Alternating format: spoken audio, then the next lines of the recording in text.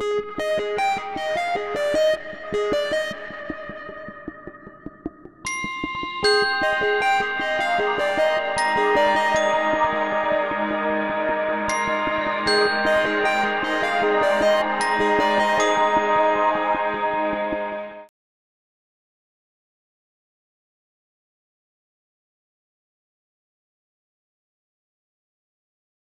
Welcome back and this is Dr. Vishal Trivedi from Department of Biosciences and Bioengineering and uh, in this series of lect lecture series we are discussing uh, different aspects of digestion and absorptions.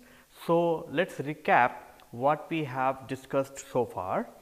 So, what we have discussed is that we have so uh, what we have discussed is the anatomy or the structures of different parts of the alimentary canal. So, what we have discussed? We have discussed about the mouth followed by the buccal cavity. Uh, within the buccal cavity, we have discussed the structure as well as different uh, types of uh, teeth present in the buccal cavity. We have discussed about the tongue and we also mentioned very that about the saliva, buccal cavity followed by the pharyngeal cavity. And while discussing about the pharyngeal cavity, we have discussed how the pharyngeal cavity actually regulates the uh, the, uh, the flow of material between the buccal cavity to esophagus or the air passage from the uh, from the nose to the uh, trachea. Followed by we have discussed about the stomach and then followed by the small intestine and the large intestine. These regarding these organs we have discussed about the external anatomy or the external uh, structure as well as we have discussed what are the different types of uh, layers are present in forming these structures and also what are the different functions of these, these different uh, function these different organs present in the alimentary canal. So, these are the main organs present in the alimentary canal, but all these organs are also being uh, uh, are also have large quantity of accessory uh, digestive uh, organs and these accessory digestive organs are also known as digestive glands. So, they are not the major organs which are present in the alimentary canal, but they have without the help of uh, these uh, accessory organs or the glands the digestion process cannot be accomplished. So, in today's lecture we are going to discuss about the different types of glands which are present in the alimentary canal. So, what are the different glands which we are going to discuss? So, we are going to start from the buccal cavity. Within the buccal cavity, we have the salivary glands followed by we have the glands in the stomach these are called as gastric glands. Then apart from salivary gland and gastric gland we have some set of different uh, glands which are also present and these are liver, pancreas and we also want to discuss the glands which are present in the small intestine and these are called as intestinal glands. What we want to discuss in the these today's topic is that how these glands are actually helping the digestive process what are the different components which are present in these individual salivary gland, individual glands and uh, what is their function. So, let us start with the salivary glands.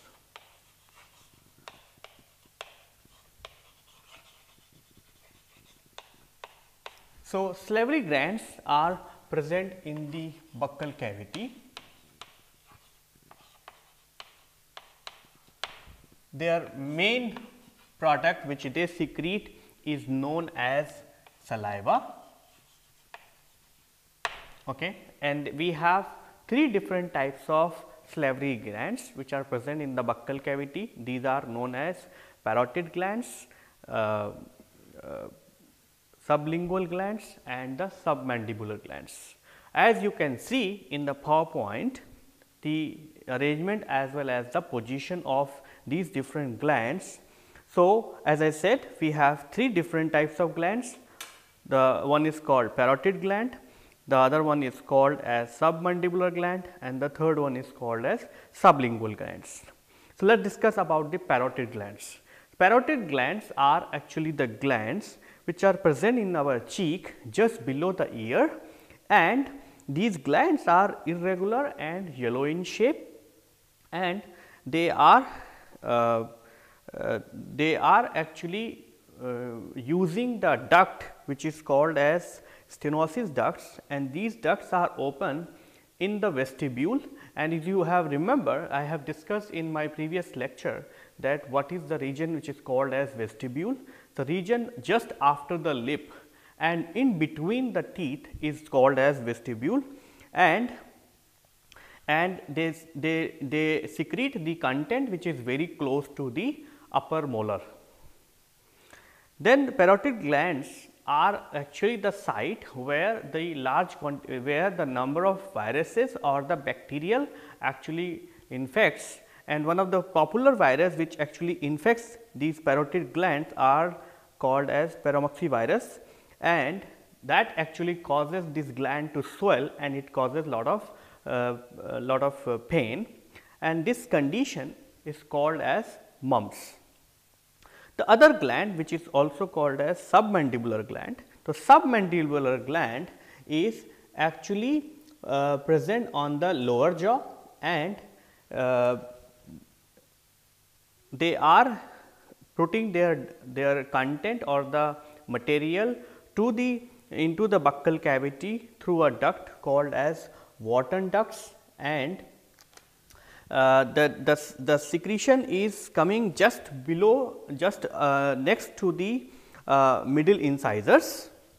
The third salivary gland which is also called sublingual gland is present just below the tongue and it is very close to the lower jawbone and it pours its content through multiple ducts coming from the gland and that is called as these ducts are known as Rivinus ducts. So, as you can see that all these three glands are actually uh, secreting the content and as I said in the, our discussion that these, uh, uh, these the contents coming from the salivary glands are called as saliva. So, let us discuss what is the composition of the saliva. So, the composition of the saliva is mostly made up of water. So, what is the composition of saliva?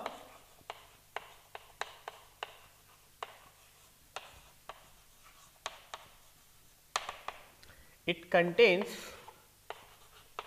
water mostly 99 percent.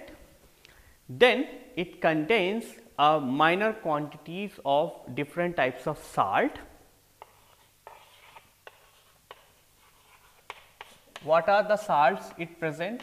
It contains sodium, potassium, chloride and bicarbonate.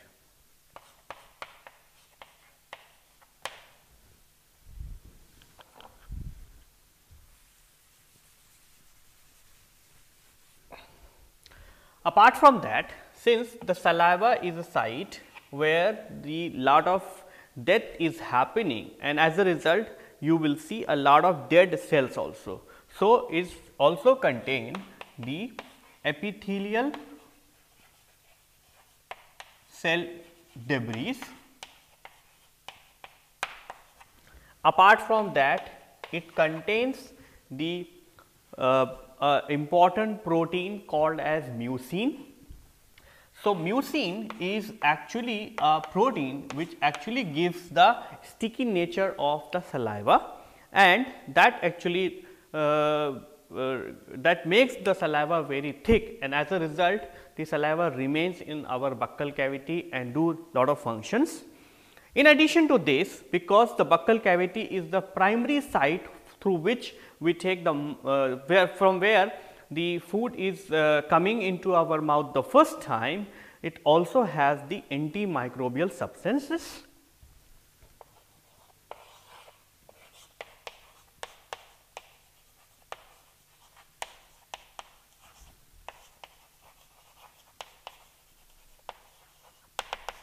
One of the popular antimicrobial substance present in saliva is known as lysozyme. So, lysozyme is actually working against the bacteria and it actually kills the bacteria by lysing their membrane. On the other hand, the pH of the saliva is in the range of 6.7 to 6.8. So, if this is the composition of saliva, the next question will come what will be the function of saliva. So, the function of saliva as the composition itself reflects, it contains the major fraction of water. Okay. So, the first function could be that it keeps the moisture content intact of our buccal cavity. So, it keeps the it keeps our buccal cavity moistened and that actually uh, means that it keeps the tongue, lips and the other structure present in the buccal cavity always uh, wet with the uh, with the uh, with the help of saliva. Then the second is because the water is a major component of the buccal cavity, it actually also uh, dissolve the food content or food ingredients present in any uh, any particular food and that dissolution actually helps in bringing the taste to the food. So, it actually helps in taste of food. Number 3, it actually uh, mix the food along with the uh, mix the food and uh, help to make the bolus. And why uh, this is important? Because once the food is uh, formed into a form in if we get uh, consolidated in the form of a bolus it actually helps to uh, not only formation of bolus, but also for the formation uh, for the mastication. So, it helps in formation of bolus and it also helps in mastication. Because once the bolus is formed, the complete bolus comes below the teeth and that actually gives the more efficient uh, mastication to churn the food into smaller pieces.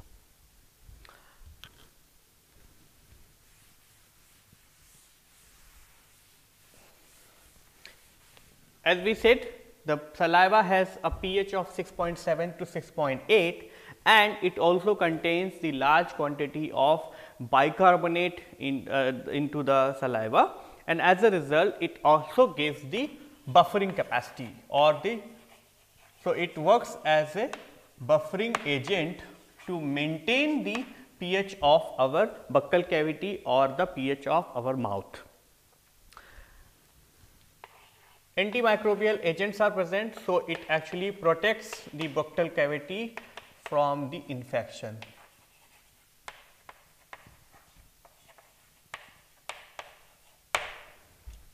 Number 7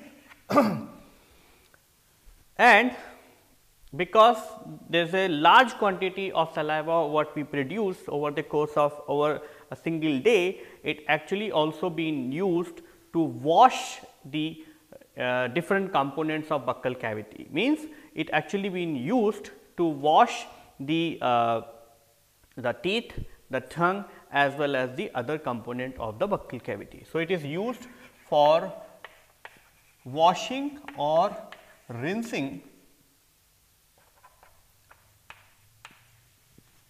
buccal cavity.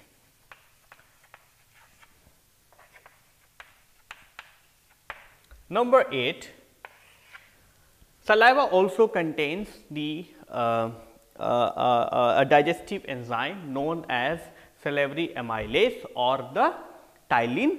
So, because of the presence of salivary amylase, it actually helps in digestion of the food.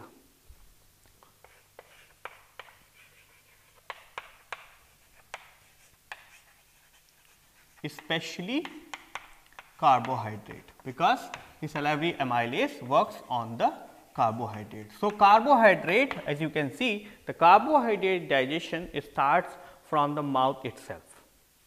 Now, our discussion about the salivary gland is done. So, now we will go back to the next uh, gland and that is the salivary uh, gland present in the stomach and that is called as the gastric glands.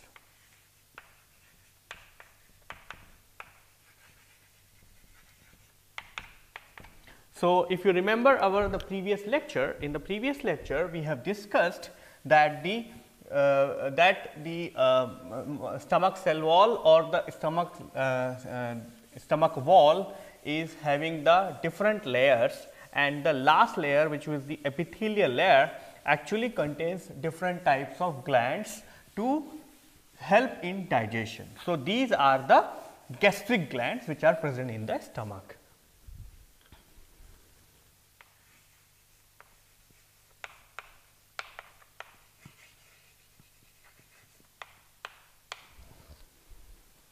So, uh, as you can see the different component of the gastric gland in a given PowerPoint slide. Uh, what you can see is the uh, a photograph of the stomach. So, as you we have discussed this structure in the in the previous lecture and we have uh, we have four different uh, component one is fundus, the cardiac, the body part and the pyloric region. So, we have four regions within the stomach and all these four regions contains the gastric glands. You have the, uh, the gastric glands which are present in the cardiac region and those are called as cardiac glands. These cardiac glands contains the goblet cells and these goblet cells actually secretes the mucus.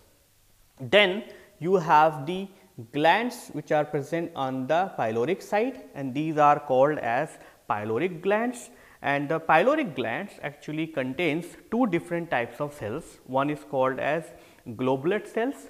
So, goblet cells actually secrete the mucus just like as we discussed for the uh, for the cardiac glands and then it also contains the enteroendocrine cells these enteroendocrine cells actually secretes the hormones and one of the popular hormone which is coming from the enteroendocrine gland is known as the gastrin. So, gastrin is an hormone which is secreted from the gastric gland or the pyloric glands and their job is to stimulate the gastric gland to secrete large quantity of different content. But the major section of the gastric glands are present in the uh, in the body part or the major part which is forming the stomach and these are called as gastric gland or the principal gland. They are most abundant and they have different types of cells as you can see in this slide that they have uh, 4 or 5 different types of cells. They have goblet cells, they have oxyntic cells, they have peptic cells and then they have the enteroendocrine cells. These enteroendocrine cells are also of different types. So, let us start with the peptic cells. So, peptic cells are actually present in the gastric gland and they produce two proenzymes. So, peptic glands actually produces the pro uh, two proenzymes those are called as pepsinogen as well as and the prorennins and they also secrete the active enzyme that is also called, that, that is known as the gastric lipase. The prorennin and the prorennin is very very uh, pre predominantly secreted in the kids or the infants and as a result the prorennin is actually uh, that is why the infants can be able to digest the milk and the milk products. Uh, then comes the oxalic acid, oxyntic cells. The oxyntic cells actually secretes the HCl and the Castle intrinsic factor and HCl is actually required to maintain a very very acidic environment of the stomach so that all the other enzymes which are being secreted from the peptic cells are working optimally.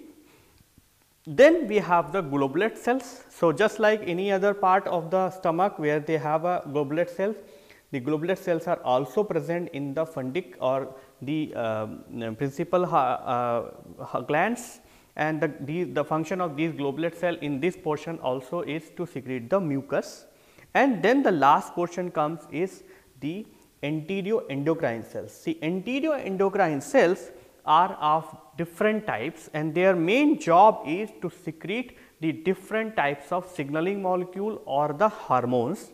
And we have four different types of enteroendocrine cells. One is called G cell. And the G cell is as name suggests the G cell is actually the cell which actually secretes the gastrin. And as we discussed in the in, in the uh, in, in the in the previous time also that the gastrin is required to stimulate the gastric glands to secrete the gastric juice. Then they uh, the uh, then they also have the D cells and the D cell is actually secreting the somatostatin and somatostatin is a hormone which actually counterbalance the, uh, the activity of the gastrin means the gastrin stimulate the secretion of the, uh, uh, the gastric juices whereas the somatostatin actually inhibits the, uh, the secretion of gastrin from the G cells. Then you have the EC cells. The EC cells they are actually uh, secreting the three different molecules histamine, motilin and the 5 hydroxy uh, tryptamine. If you remember when we were discussing about the stomach, uh, uh, stomach anatomy, we discussed that the stomach secretes large quantity of motilin and that motilin is required to uh, stimulate the churning activity in the mouth or the uh, motions within the alimentary canal. Whereas, the 5 hydroxytryptamine which is actually a precursor for the serotonin is actually has a inhibitory effect on the secretion of gastric juice. So, actually the EC cells are maintaining a balance uh, of secreting the gastric juice or inhibiting the gastric juice. And then lastly, because most of these glands, cell, glands are need to be regenerate, they also have the stem cells and these stem cells are undifferentiated cells which are present in the gastric glands and these gastric glands uh, these stem cells differentiate and to form either the G cell or the D cell or EC cells. So, uh, to provide the different types of cells. Now, we will discuss about the different function of the gastric glands. So, the, the function of gastric gland can be divided into two parts. A is that we have discussed that the gastric glands actually secretes large quantity of digestive enzymes. So, it could be related to function or the function done by the digestive enzymes and so most of the digestive enzyme which are being secreted within uh, by the peptic cells in the uh, in the uh, in the stomach is required to secrete uh, to to digest the food material and then we have the another function that is called the B and the B function comes by the uh, gastric juices to secrete uh, to the to the stomach to secrete the large quantity of acid.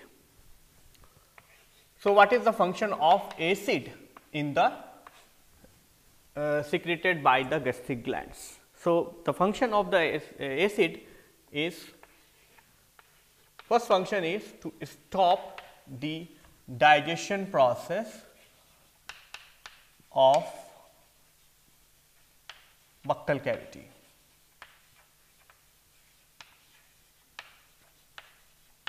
So, the enzymes which are present in the salivary glands optimally work in the neutral pH or the pH in the range of 6.7 to 6.8. But as soon as these enzymes enter into the stomach, the pH turns into the 2 or 3 because with the help of acid and that actually stops the digestion process uh, done by the these enzymes.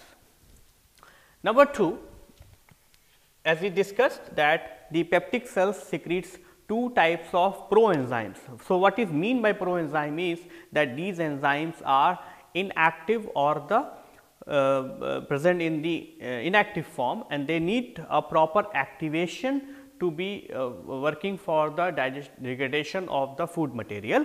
So, they also work for the activation of proenzyme.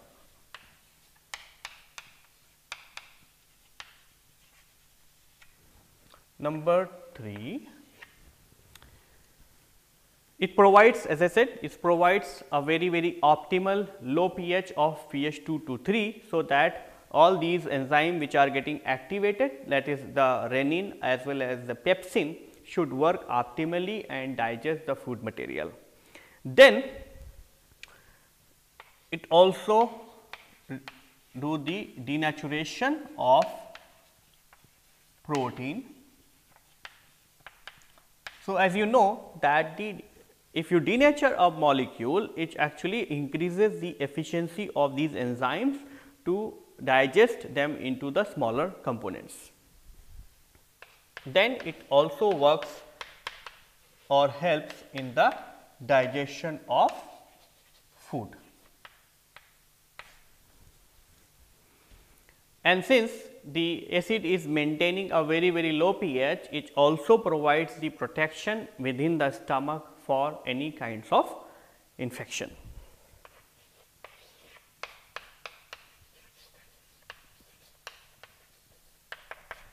Apart from these two components, we also have third component and that is we have a large quantity of mucus being secreted by the these goblet cells and the, the purpose of having this mucus is that it protects the inner lining of the stomach with the action of these acid as well as the enzymes. And once there is a breakdown of this mucus lining that actually causes a disease condition known as ulcer and this is a condition where you will see a large quantity uh, where the mucus lining is removed and then the acid actually reaches to the epithelial lining and then it degrades the cell wall and as a result the person develops the uh, several types of abscesses and that actually causes the bleeding as well as the discomfort to the person.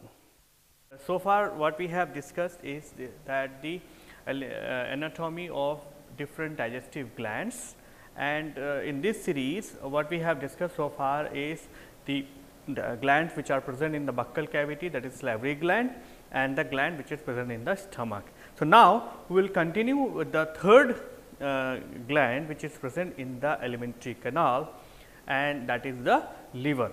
So, as you can see in the given slide the structure of the or the position of liver within the uh, within the within the alimentary canal. So, liver is a reddish brown organ present on the right side of the abdomen and it is just present below the diaphragm okay and it is the largest gland present in the human body and uh, the liver has a very unique uh, uh, unique anatomy from the outside that its upper surface is concave and it is connected to the diaphragm because the uh, liver is present just below the diaphragm. So, it has to be connected to the uh, to the diaphragm so that it will remain intact within the peritoneal cavity by a by a suspens sus, uh, suspensory ligament.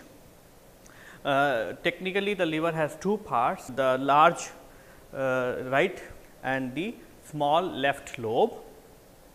These two lobes are uh, connected by the uh, falciform uh, ligament. And between the lobes there is a bag between the lobes what you can see is the lobe like the bag like structure. And the bag like structure is called as gallbladder.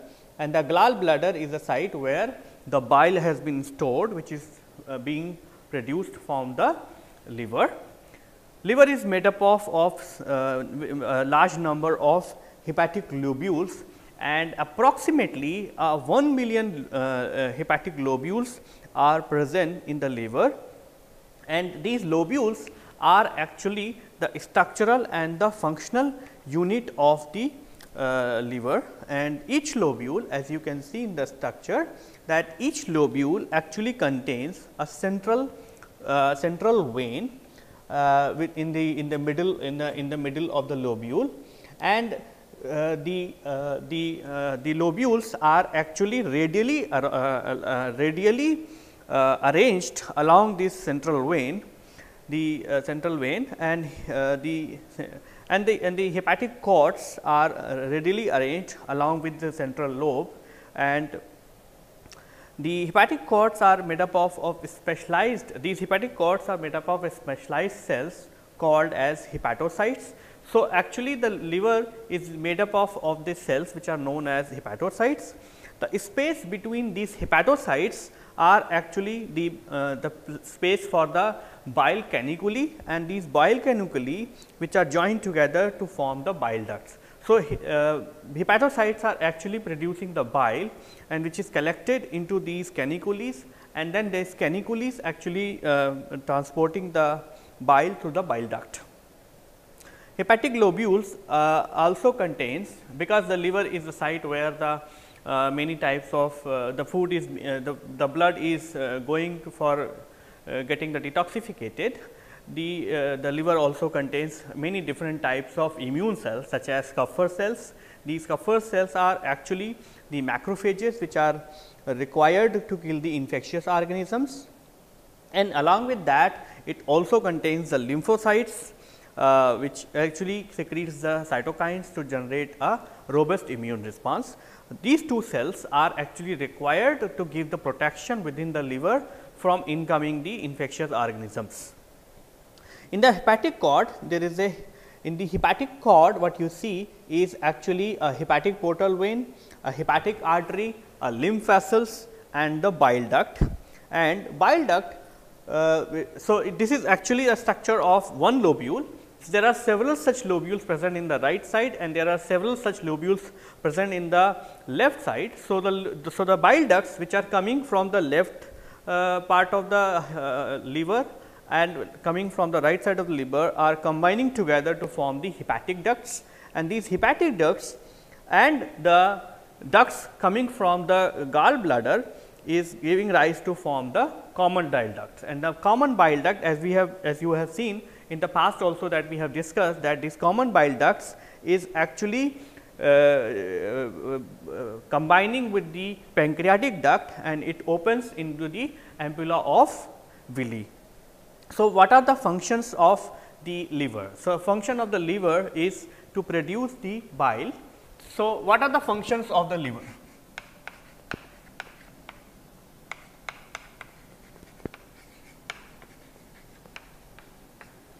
Number 1, as we said, as we discussed uh, that uh, the liver is actually a major organ where the lot of different types of synthesis and breakdown happens.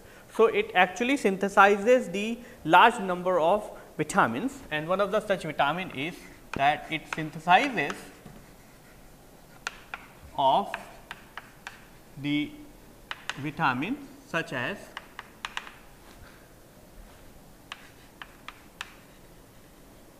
vitamin A. Number 2, because the liver has lot uh, is, is, is also being served as a storage uh, storage organ. So, it also stores different types of food material after the digestion. So, it stores vitamin it also uh, stores the carbohydrate and it also stores the fat. Also it stores the or it helps in synthesis of proteins. How it stores the uh, carbohydrate and the fat is that it actually performs a function uh, uh, a, a, process known as the gluconeogenesis.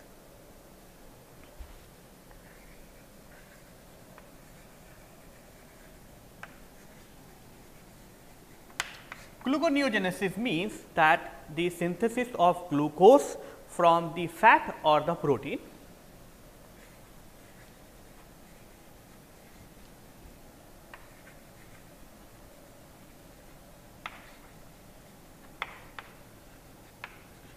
or protein.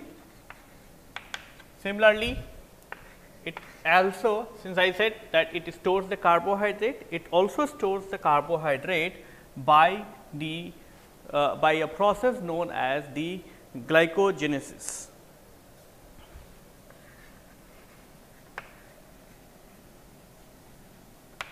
So, glycogenesis means the conversion of glucose to glycogen. So, glucose is actually a monomer and glycogen is a polymer. Apart from that, liver is also used to synthesize the bile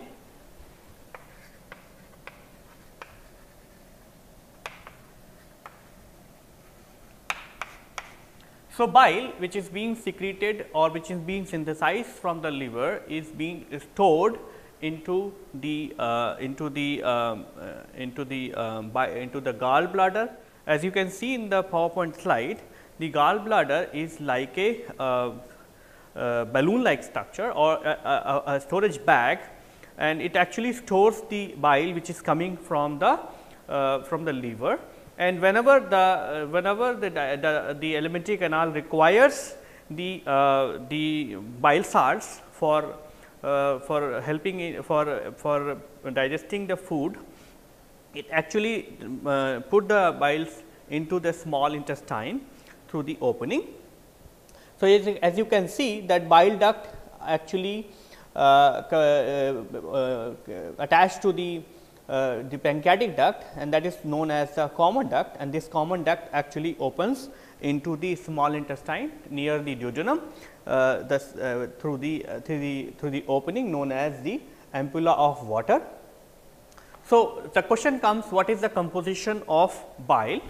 So, the composition of bile and the function what the bile has to do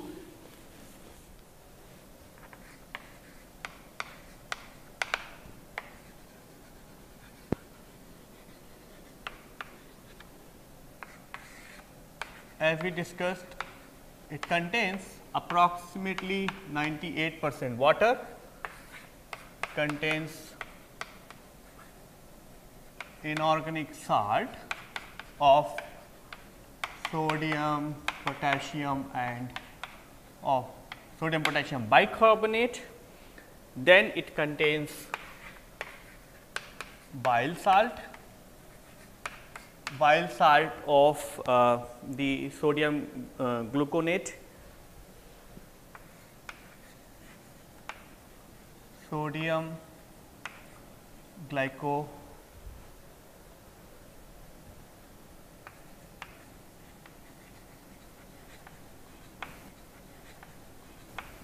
The sodium taurocholate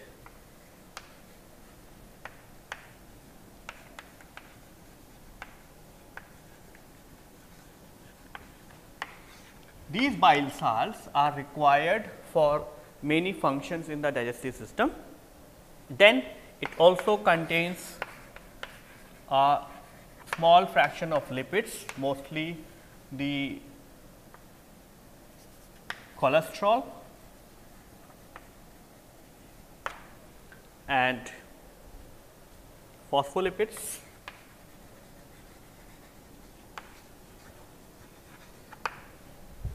And then at the end it contains the bile pigment which is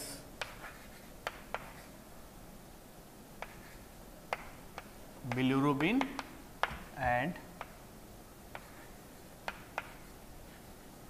biliverdin which is actually a oxidation product of bilirubin.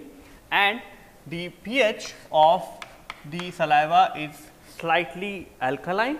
So, it is in the range of 7.6 to 8.6. Okay. What is the function of uh, bile? So, bile is actually required for the emulsification of fat. What is mean by emulsification is that it actually break down the fat into a smaller droplets and that smaller droplets actually increases the surface area of fat. So, that it actually get uh, better action of lipases and as a result the fat will be get digested easily. Number 2 is it actually neutralizes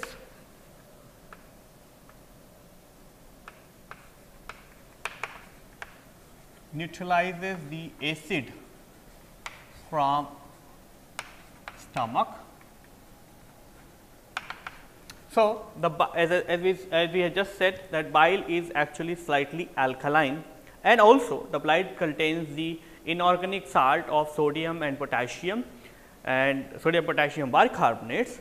So, once the acid comes from the stomach, the these sodium and potassium actually reacts with the uh, is, uh, reacts with the uh, HCl present in the stomach and that actually then they, they form the corresponding salt and as a result it neutralizes the acid which is present in the which is coming from the stomach and neutralizes the pH. So, that the pH of the small intestine is suitable for the uh, for the uh, enzymes which are which are being secreted by the uh, gastric glands.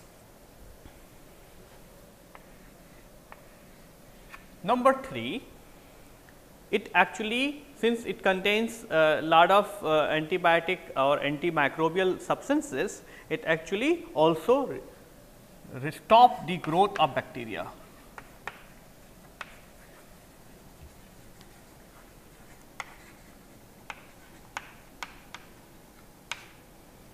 Number 4, it also helps in activation of the, the, the enzyme which is required for the fat digestion. So, it actually helps in activation of lipases.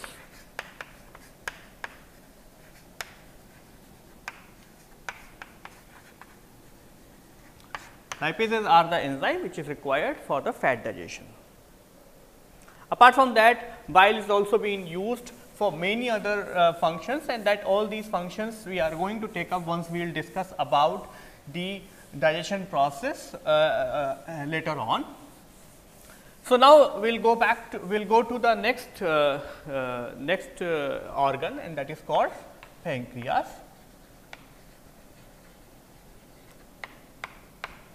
Pancreas as you can see in the given slide Pancreas is a pancreas is a soft, compact and lobulated and a grayish uh, pink gland and it lies between the stomach and the duodenum and it is close to uh, very close to spleen, very close to spleen and uh, uh on average the pancreas has a length of uh, approximately 12 to 15 centimeter and the pancreas, uh, the anatomically the pancreas has three region. One is called the uh, tail region and the middle portion is called as the body portion and the top portion is called as the head portion. The head portion is present uh, within the curvature of the duodenum and whereas the body portion lies just below the stomach whereas the tail portion is extended towards the spleen. Uh, pancreas has two different types of region for performing two different types of functions. One is called the exocrine function exocrine part and the other part is called as endocrine part. Exocrine part is actually consist of large number of lobules and these lobules is made up of, of smaller cells known as acini. These acini are actually made up of, of smaller pyramidal like cells and these acini are actually uh, uh, secreting the different types of pancreatic juice and these juice actually contains many types of proenzyme as well as the active enzyme to help in the digestion process. On the other end, the endocrine part is actually being focused within the uh, islands of Langerhans. Islands Langerhans actually is made up of, of polyhedral cells and it is also contains the blood capillaries. The purpose of endocrine part is to secrete different types of hormones from the different types of cells. So, endocrine part actually contains 5 different types of cells, uh, alpha cells. These alpha cells are actually present on the periphery of the gland and they are actually secreting the hormone known as glucagon. The glucagon is actually uh, regulating the glucose metabolism. Beta cells are actually present in the center of the endocrine part and they are actually secreting the insulin and as you know that insulin is actually a hormone which controls the glucose metabolism by converting the glucose into the glycogen uh, which uh, the process which is uh, happening in the liver. On the other hand, the third cells which are known as the delta cells these are the cells which are present on the periphery of the uh, gland and they secrete the somatostatin. The somatostatin actually regulates the activity of alpha and the beta cells and that is how the somatostatin is actually controlling the level of glucagon and insulin from the level of gluca uh, level of insulin and the uh, uh, glucagon from the uh, pancreas the fourth cell is known as the gamma cells. The gamma cells are actually the cells which secretes the gastrin and the gastrin as we have discussed when we were discussing about the uh, uh, we were discussing about the stomach that gastrin is required for stimulating the secretion of uh, the gastric juices from the stomach uh, glands. And the lastly at the end the, the, it also contains the F cells and these F cells actually secretes the pancreatic polypeptide. The pancreatic polypeptide is actually required to uh, to uh, to control the secretion of the uh, these these uh, endocrine uh, hormones from the pancreas as well as it also controls the overall secretion activity of the pancreatic cells. So, what are the functions of the pancreas? The function of pancreas is that it's uh, do the two job.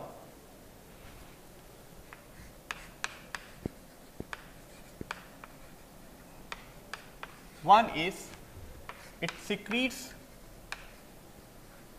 pancreatic juices that helps in digestion. Number 2, it secretes endocrine hormones and that has the several uh, different that can that has different types of effects. These endocrine hormones are actually regulating the metabolism. One of the example we have just says that it actually regulates the glucose metabolism. So, it uh, insulin is actually converting the glucose to glycogen whereas glucagon is doing the exactly the reverse. On the other hand, it also controls the secretion of gastric juices and on the, the third is it also controls the secretion of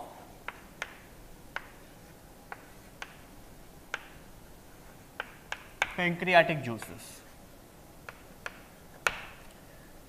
Pancreatic juices contains different types of proenzyme and as well as the active enzyme to support the digestion, whereas the endocrine part is actually required to control the metabolism as well as to control the digestion part. Let us go back to go to the third uh, uh, uh, gland and that is called as the intestinal glands.